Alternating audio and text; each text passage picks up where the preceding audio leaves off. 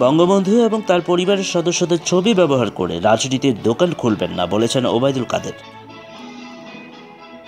এবার বিস্তারিত। আজ বুধবার দুপুরে বঙ্গবন্ধু এভিনিউয়ে আওয়ামী লীগের কেন্দ্রীয় কার্যালয়ে এক আলোচনা সভায় আওয়ামী লীগের সাধারণ সম্পাদক ওবায়দুল কাদের বলেছেন, বঙ্গবন্ধু শেখ মুজিবুর রহমান এবং তার পরিবারের সদস্যদের ছবি ব্যবহার করে রাজনীতির দক- দোকান খুলবেন না। তিনি বলেন, অনেকেই বঙ্গবন্ধুর ছবি টাঙিয়ে তার নাম ভাঙিয়ে রাজনীতির দোকান খুলে বসেছে। এমনকি বঙ্গবন্ধু কন্যা শেখ হাসিনা ও সাজিব ওয়াজেদ জয়ের ছবি দিয়ে দোকান খুলেছে। বঙ্গবন্ধু ও শেখ হাসিনার নাম, ছবি ব্যবহার করে কোনো রাজনৈতিক দোকান খোলা যাবে না। বাংলাদেশের রাজনীতির সবচেয়ে সৎ পরিবার হচ্ছে বঙ্গবন্ধু পরিবার। বঙ্গবন্ধুর দুই কন্যা, শেখ হাসিনা ও শেখ রেহানার পরিবারের সদস্যরা নিজ নিজ কর্মক্ষেত্রে প্রতিষ্ঠিত।